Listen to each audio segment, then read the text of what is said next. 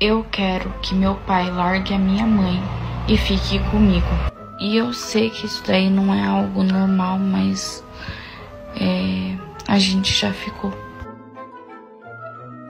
Mas espera aí que eu vou explicar para vocês como que tudo isso aí começou. Minha mãe nunca teve muita paciência comigo. Já meu pai era, tipo, era água e o vinho. Meu pai já era amoroso, é, fazia de tudo por mim. Ele sempre me exaltava, falava que eu era princesa dele. E resultadamente, né, eu acabei me apegando mais ao meu pai do que à minha mãe. Uhum. E a culpada é a sua mãe, né? E eu sempre tive um corpo bem desenvolvido.